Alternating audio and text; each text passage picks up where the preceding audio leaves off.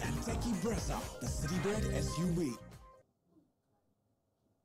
We have ourselves our first thriller of the season, perhaps one that will go down as an IPL classic, as the Knight Riders and the Sunrisers have taken us to the very end. Game that ebbed and flowed and dramatically swung with sixes galore at the Eden Gardens, with Russell and Klaasen cancelling each other out. But Harshit Rana stands tall for KKR. All that happened before him didn't matter. He had to eventually defend 13 of the last, which got even worse when he conceded six of the first ball of the final over. And Klaasen looked like he was going to take the Sunrisers home. But uh, finally, uh, the last two balls just switched the game to the Knight Riders and they pick up their first points. A game that was thrilling on so many levels, and we'll decide what uh, made the difference between the team that won and lost here on Maruti Suzuki Arena Presents ESPN Cricket for Timeout. We invite your questions and comments as the show goes on, so get ready for them as I first take the raw emotions out of Wasim Jaffer, Mitchell McClenaghan, and Tom Moody, all of whom said that the Knight Riders should win it, but I don't know if they expected this kind of win. Uh, give me your first emotions, Mitch McClenaghan. Yeah, it was a it was a game of some really really good stuff mm. from both sides. Players in particular, Andre Russell and Heinrich Klaasen, and, and then some poor stuff as well. I, I, think towards the end, KKR in terms of their death bowling, um, their plans were, were a bit off, and it kind of cost looked like it was about to cost them in the end, but got across the line, and it was nice to see Mitchell Starc show some experience and run across and, and say this is the perfect ball to bowl, bowl to Pat Cummins. Mm. I mean, the story is of the last over and of a young, unkept Indian bowler bowling that under serious pressure after what had happened just before that. Starc's over expensive, Russell's over expensive, even Varun Chakravarthy expensive. Break down the story of the last few overs because that's when the game just exploded, didn't it, Tom? Yeah, it did. You know, Heinrich Klaasen, uh, you know, played a role similar to Andre Russell, really, in the in the back end of of KKR's innings, which gave them that um, you know, score over 200, which wasn't expected sort of at that 15 over mark. So a very similar pattern in, in both innings. Um, both incredibly good power hitters, Klaasen and, and, and Russell, and just showed how dangerous they can be. So no game is finished until mm. they're out. Um, to me, the last few overs, there's a few lessons for KKR to take away uh, with regards to bowler deployment. You know, it's so important the, the order you have your bowlers bowling to make it as hard as possible for your opponent to get close to that finishing line. Uh, you may set yourself that target to, oh, Mitchell Starc's got to bowl the 19th or the 20th at the beginning of the game, but as the game unfolds, those situations do change. And there was an opportunity I felt that, uh, uh, that should have got Starc yeah. in a lot earlier, even though he had pre-planned for him to bowl the 19th or 20th to kill the game at that point, because Klaasen was always going to be a threat, and you've got to put your most potent uh, bowler in that situation to make the margin even greater. Mm, I think we go to the decision to give Varun Chakravarthy the ball in the 18th over. And they've mm. ended up on the right side of the result, but I guess that's where, if you're analysing Shreyas Iyer, the captain, he's in a way got away with the win here. Yeah. It could have gotten away, right, Wasim? That's the bowler deployment Tom yeah, speaks yeah, of in the last completely agree. I mean, he had an off day, uh, whereas uh, another guy, Sunil Narine, gave 19 runs without conceding even a boundary. So he had a very off day. And then if you've got somebody like Klaasen batting like that, you know, makes your job really hard. but yeah, I mean, they need to sort out uh, Shreyas Iyer, pretty new to the job, even though he did it at DC but still new at the job, I would say. Yeah, well, it swung the momentum massively, didn't it? It really did. Was, the over went for 21. The situation, as Tom alluded to quite rightly, that uh, Mitchell Starc should have bowled that. He bowled a beautiful over the, mm. the previous over.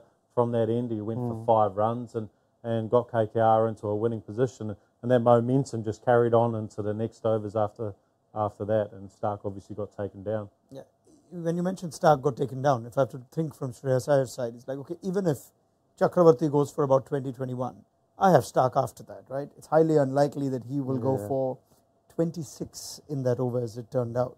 Mm. So he's thinking, okay, I can afford a bad over here. If you're Mitchell Starc mm-hmm. and that over before you has just gone for 20, 21, Klaasen suddenly looking different, it plays onto how you bowl that, that following over, doesn't it? Well, there's more pressure on it, isn't there? Um, Look, uh, Starc, clearly he missed in terms of what he was trying to bowl to Klaasen, and I think that'll be good learnings for him for the rest of the tournament in terms of next time they come up against him because be in that situation again. He's one of the best finishers in the game, and and he puts pressure back on the bowlers all the time. So they'll learn from that. They need to take it away from it a lot more and, and then use their slow ball bouncer nice and wide to him. But uh, wasn't it just a great finish? Class batting from Heinrich Klaasen, and I know you're very happy about that. Yeah, Wasim Jaffer had picked Heinrich Klaasen in his uh, in his top three impact uh, players. So we'll see how those scores stack up just in a little while. But we've also seen an exhibition of T20 ball striking today from arguably Tom Moody, one of the all-time greats in T20 cricket, and shall we say one of the most destructive current generation batters. And what sort of observations do you make from the two innings that we saw in terms of what ball striking has come to? Yeah, well, both of them, uh, it's pretty much their blueprint. You know, Andre Russell is um, just brutal with his ball striking. There's not a lot of finesse with it, but there's just brutal strength. And his game has evolved over time. You know, he's had to learn how to deal with the short ball because there's a phase in his game where the opposition would go upstairs and he was a little bit sort of uncertain there. Now he can play that okay and he can get the odd ball out of the middle of the bat and hit it over mid wicket for six or top edge it for six. And also that wide option, which is something that uh, a lot of teams have gone to with Russell and Pollard and those type of power hitters, try to go wide and slow. And he played a magnificent shot over extra cover, just showing his growth and development over, over the years, you know, recognising that he's had to evolve his game. It's not just, you know, clearing that front leg and swiping it over mid on and mid wicket for six every ball. So it shows what he's about. Klaasen's more of a pure batter. You're going to get a lot more conventional stroke play, and he is very difficult to bowl to because you know he has got the complete game. He can play the short ball. He plays spin exceptionally well. You know, I, I'd hate to be a spinner to bowl to, to uh, Klaasen because he can hit you off the back foot for six comfortably, and therefore if you just slightly get an inch fuller than you need to, he's hitting it off the front foot for six. So you know he's got all the options, all the options covered. So you know he is one of the best finishers in the game. And I think Nicholas Pooran, you can put in that category as well as one of the best ball strikers that the game is currently seeing. It's amazing how he hits those back foot sixes straight. Mm-hmm. Yeah, and he does it with great. it- But you know, Wasim would appreciate this as a, a former, you know, great batter and also batting coach. Is that you know, facing spin, if you can use the depth of your crease, if you can be down the wicket and you know down the wicket by a metre or two metres, but also have the ability just as quick to get deep in your crease and power the ball down the ground, you, you're very difficult to bowl to mm. because your margin of error for a spinner, you know, goes from here to shrinks to here, mm. and they know about it. I mean, margin error, error for Mitchell Starc also reduced in that over. So let's let's just credit Harshit Rana for that one or two balls after being hit for six because you need something to go your way. If Heinrich Klaasen isn't, that's not going to take the middle or even the toe of Heinrich Klaasen's bat and go for six and in, instead take the edge and get caught. So what can you appreciate about Rana with that particular wicket? Oh, I think clarity of his plan. Like start of the over, that puts you under a lot of pressure. But for him, young, starting in his career, to to be exposed to pressure at the start of the twentieth over and, and come back from that, that's going to be huge for him personally, uh, because it's all about confidence. And and T Twenty has a way of beating you down as a bowler. And and if that had have in the first game of the IPL had have gone the opposite way, and the first two balls went for six, and he lost the game, then you know, be in a different situation, and, and then they're looking around for what other bowlers they have in their armoury to, to bring in after a couple of games. There's also uh, some personality in play there. We saw him give Mayank Agarwal a bit of a send off. Yeah. And maybe he's the kind of bowler, maybe you can relate to this, Yeah. it's closer to home, relishes. Well, I hope he doesn't do this uh, little kiss in the day games. when the kids are in bed, maybe you can show that off. But uh, yeah. But you could sense that this is a guy who's up for that sort of fight. Yeah. Almost. And that, I guess, carries on from last season where clearly Harshit Rana is trusted in this team as the primary Indian seamer. There's no Umesh Yadav, he's been let go of. Sakaria has been brought but doesn't get a game. So Harshit Rana is perhaps KKR's number one Indian fast bowler. Yeah, I think he did well last season as well. I think in the emerging tournament, uh, he bowled really well there as well, and he can bat a bit. Uh, he's not a mug with the bat, and to hold his composure uh, for that over, especially, and come back after getting hit for the sixth first ball, you know, shows a lot of it. Especially that catch as well. You know, Suyash Sharma is not known for his fielding ability. To have that, you know, such an important catch, uh, you know, both two guys actually stood out uh, in that crunch moment of the game. little things that make the difference, and that's the difference in KKR ending up on the right side of the result. Questions pouring in. Uh, appreciation for Klaasen from Parinav Chaudhary. Devyank uh, with a point that we've already covered. But yeah, KKR won, but was it a goof up by to give Varun the 18th over? I think we've heard the panel's thoughts on that. Now, um, some criticism towards what came before Klaasen in that Sunrisers chase. Uh, Ghostbusters saying Samad could have done better in the 11 balls that he faced. And there's also criticism on Rahul Tripathi's innings. Now, you look at a game like that, one guy's gone 60 of 20, and then you have a couple of scores there that are in and about run a ball. The Tripathi innings did look like a bit of a struggle. It's only one game, but where do you sense Sunrisers would reflect on where this chase slipped away? I think also you've got to appreciate when Tripathi had to bat. You know, he, he, he had to face the best of Narine. Oh. And Narine was a class above anyone tonight with the ball. You know, ball, his four overs for 19, I think it was, uh, with picking up just, just the one wicket. But, you know, yes, Tripathi didn't find his rhythm, but, you know, he also faced some pretty tricky bowling, you know, and, and Narine's, you know, it's not his first rodeo. He's, he's, he's been under pressure plenty of times and he knows that ground well and he enjoys bowling at that venue.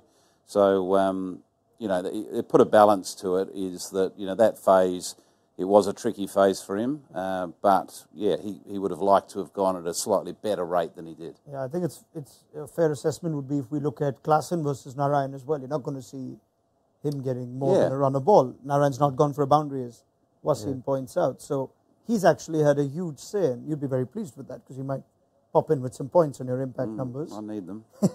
yeah, but the uh, I think for KKR that's a huge box tick. They're two big West Indians who they showed so much faith in, and who sometimes go missing on injury or whatnot. They started significantly well. Yeah, I, I- think there's a few boxes that have been ticked for KKR. Uh, You know, for them to be consistent this year, my view is that their their attack needs to, you know, very much revolve around their spin dominance. You know, they're, they've got a good spin attack, and they're, you know, at their home venue, they need it to turn a little bit so they can stay in the contest.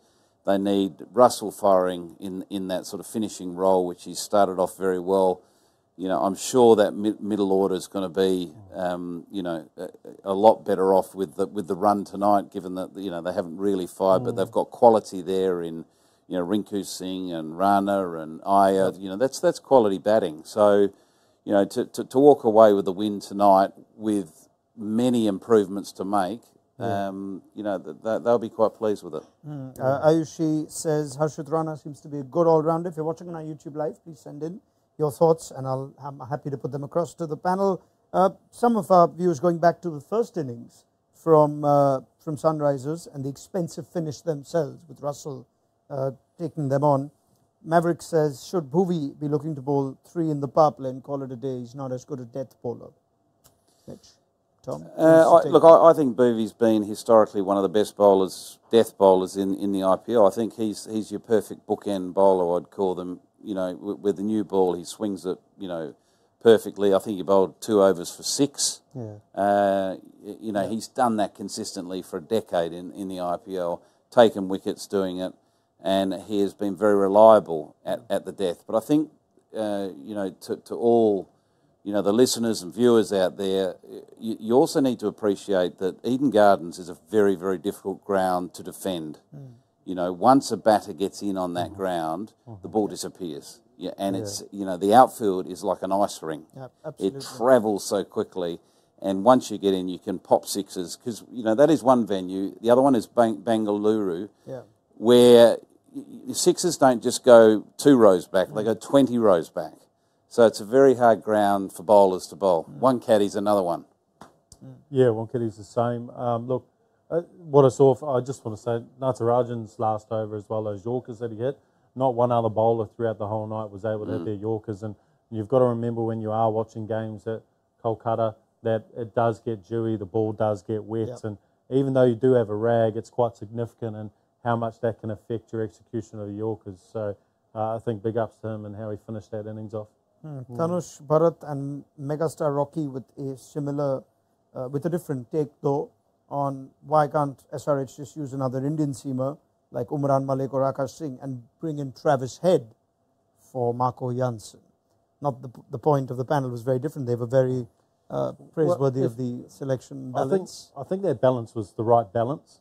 I think if you were ever looking at making a change to that balance of that side, you, you would probably look at, at bringing in Faisal Faruqi. Uh, he is a, a very effective bowler at the top and, and can bowl death, swings the ball both ways. He's in very good form for Afghanistan and coming out of the ILT20. But you've got to give Marco Jansen an opportunity. Phil Salt played out of his skin tonight. He put him under pressure at the top, and and and Marco Jansen was a, a good matchup for this side with his extra bounce and the ability to swing the ball back.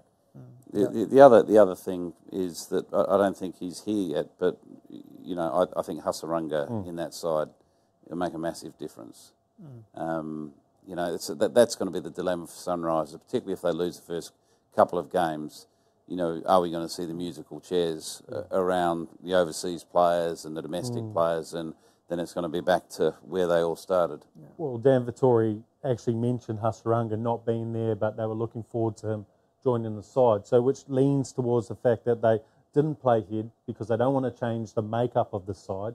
Hasaranga would just come in for Marco Jansen, and the, the balance still remains the same.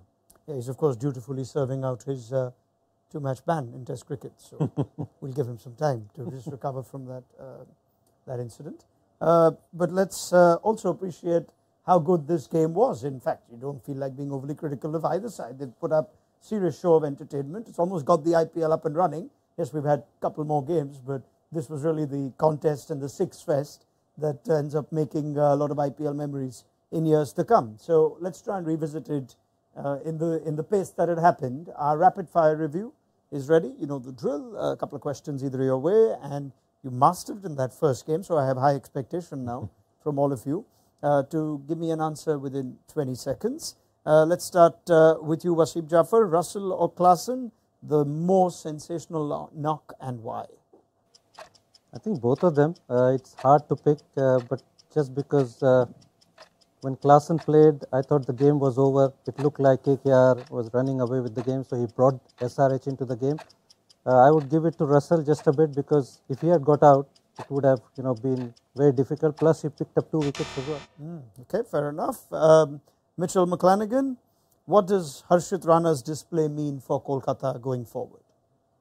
Well, it gives them a bit of surety around their Indian pacer, gives them some confidence that he can perform under pressure. And, and I thought he was aggressive at the top as well, and that's what you need with the new ball, particularly at a, a ground that's uh, really advantageous to, to batters at the top. All right. Uh, Tom Moody, will this outing rattle Starc and Kolkata? I mean, for Starc's performance today? Not at all.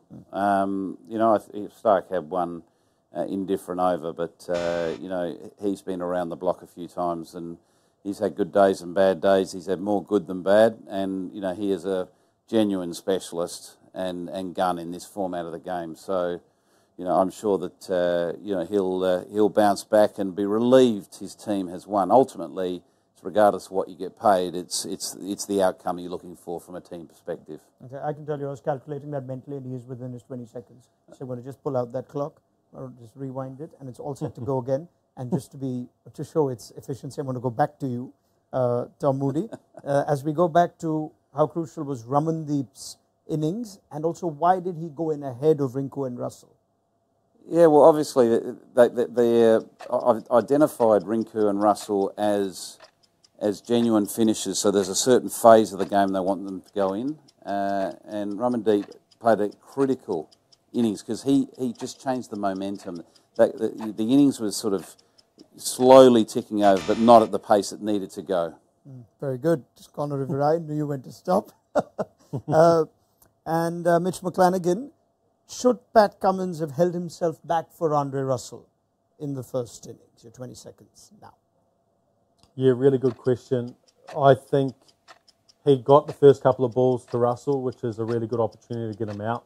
I think if anything, he could have backed in Marco Jansen a little bit more. Even though he's expensive at the start, he was still a really nice matchup to Andre Russell.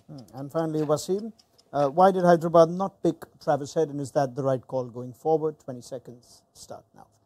I think that those top three Indian batters are, are pretty good. Uh, and like we've said, if Hasaranga comes back, probably he'll come in in place of Marco Jansen. So that makes it easier for them to select the team without changing it too much.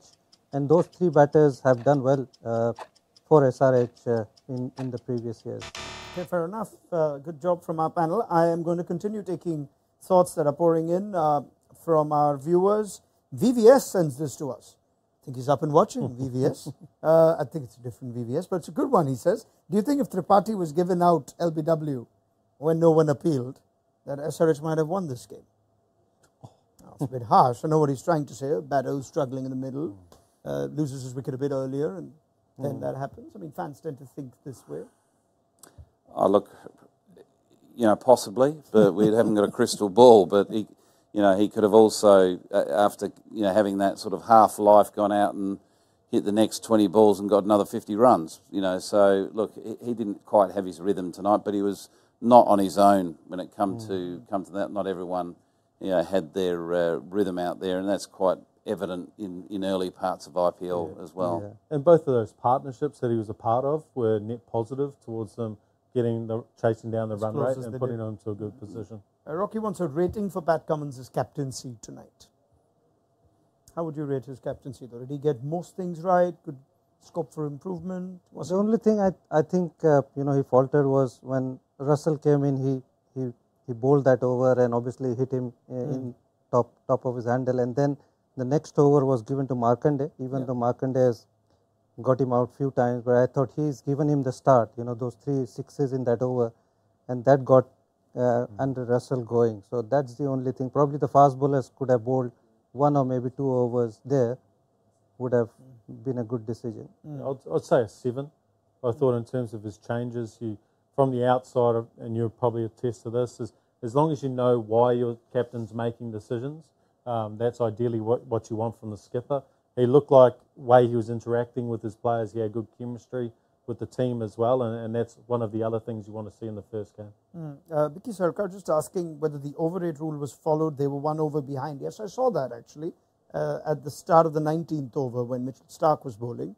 But at the end of the 20th, I don't know if either of us got a clear picture from this, the TV pictures on whether the KKR were penalised for an extra fielder. Anybody? Did anyone No, pick I that didn't up? see that. Yeah, not quite sure, but yeah, that, the umpires seem to be on top of this, so we can only assume that it was played out exactly as it should have been. Uh, other than that, uh, there's an observation from uh, Ayushi Sureka saying, I remember Klaasen bursting onto the scene in 2018 and he used to struggle against spin. Now he has one of the highest strike rates in the world against it. Did he make any changes that the panel uh, can point out now? Is that true though, when he just came in? Yeah. I'm, I'm not sure about him str- uh, str- struggling, um, but what I do know is having had him last year in the 100, um, the team I coached in England, uh, he was one of my overseas players.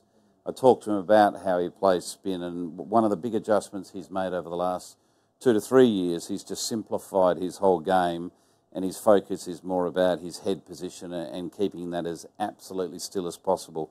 You know, all his practice drills are, are very, very much um, designed for that. You know, so he's very specific the way he trains. He's not erratic like he used to be. Just try to do a bit of everything. He's very specific the way he goes about it.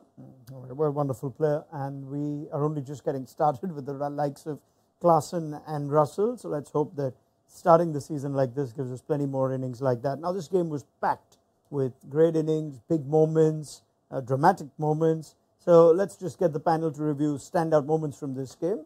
I'm sure it's tough to finish one or the other, but I'm going to ask Mitch, Tom, and Wasim to rank the three uh, moments in what they felt were more significant as far as um, the result ended up. So Russell uh, striking back and giving KKR that big finish at the end, Klaasen and his innings, or uh, Harshit Rana's brilliant final over. If there's a moment outside of this that you'd like to bring in as more significant than this, you may. But if I have to go for a one, two, three ranking, Tom? I'm going to go one outside uh, and Narine's four overs for 19 runs in a game where over 400 runs were scored in 40 overs. Okay, that's a standout moment for you. Would you like to rate these then? Two, three, four? Uh, Russell.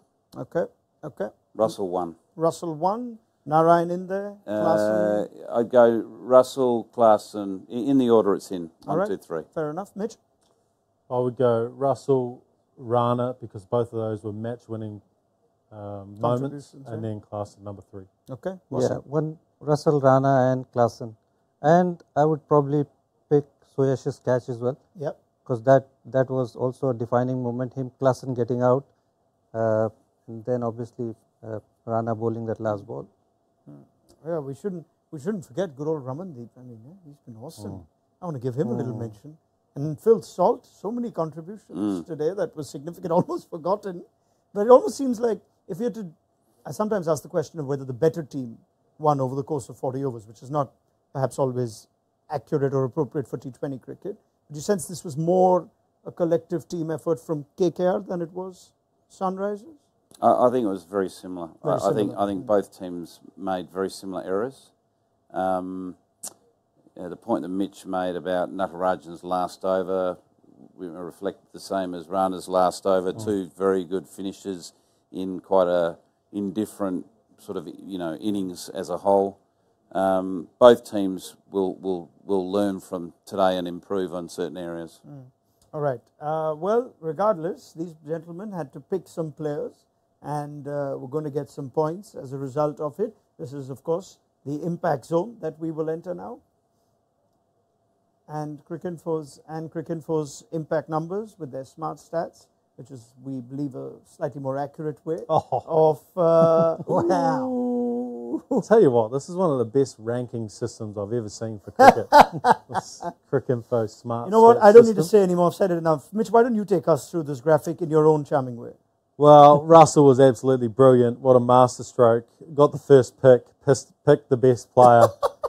uh, everyone had talked Phil Salt out of the game, and, well, you've just got to back the man in. So I went with him. And then Starc, well, disappointing start. Uh, it could have been an absolute blowout. It could have been with Starc uh, if he had have even taken a wicket. Phil Salt let me down as well with the catch. Uh, but I'm glad. Wasim Jaffer, mate, you got some points on the board for class, and then both of us have made some ground on Tom Moody. Yeah, I'm a little bit disappointed, but that's fine. It, it's it's it's a long season. Yeah. very long season. And of course, Tom was top of the tree yesterday. Uh, Mitch is today. Uh, we also have the game earlier today. Would you like to see how that went down? Yeah, I'm a touch Delhi, more nervous about that one. Let's have a quick look and see how the ratings went down there. Now, Wasim Jaffer, Big Marsh, Warner, Rabada, Stubbs, Dhawan, and Kuldeep for McClenaghan. And Tom Moody, you can take me through this graphic and what stands out for you. I I didn't know there was minuses. This is crazy. You've had your turn, mate. You've had your turn. Just just keep it down. You haven't even made hundred points here. Um, yeah. Oh, look. What can I say? Uh, you know, I, I, I was fortunate, I suppose. Uh, but I, the two key people for me were Axar and Arshdeep. You know, they, they're going to be, you know, in the points. They're that type of uh, those type of cricketers. I'd like to make a suggestion to the panel Yes. moving forward. On, this is unannounced or or talked about, but I think we should all be able to pick the same players if we think they are the right players because there's certain standouts like Russell today. You know, my friend here had the advantage of picking one of the most dynamic all rounders the game's ever seen. You know, we should all have the opportunity to pick that Well, person. do you know what's going to happen now? I'm not is that- asking- I'm not well, asking You're going to you. be close to the bottom now, so you might get an opportunity, being the person who's last, to pick Russell first when we play KKR's next game. Have we got a mute here? Just a thought. I thought you were proposing something to the panel and you just told your fellow panelists to shut up. Won't be the won't be the last I'm. I'm, call, I'm calling you the panel. right. Uh, let me review this with the rest of the governing council uh, That'd for be good. timeout, and I will get back to you shortly. Thank you. Yeah, I, let's first, first get the rest of the schedule out for the tournament. But yeah, thank you very much to Wasim Jaffer, Mitchell McClenaghan, Tom Moody. Wonderful day of IPL cricket, especially with all the stories that came to fruition. Rishabh Pant returning was nice to see. Punjab starting at a new home ground with a win augurs well for them and KKR and SRH. They're going to be serious teams to watch out for, no matter uh, who plays them and where they play with the kind of firepower they've shown in their opening game. We're, we're barely we're barely done with that at the halfway point. We still haven't seen the Mumbai Indians or the Titans, and that is the grandstand fixture of this weekend. That is tomorrow. So too is Rajasthan Royals against Lucknow Super Giants. So three o'clock is when uh, we will build up. If you're in our part of the world, on, on Maruti Suzuki Arena presents ESPNcricinfo Timeout, do download the mobile app. If you haven't already, you can have a look at uh, everything that's going around from the world of the IPL, and we are expecting at some point the rest of the schedule to be announced. We'll have you covered like we always do. We will see you tomorrow afternoon. Bye bye.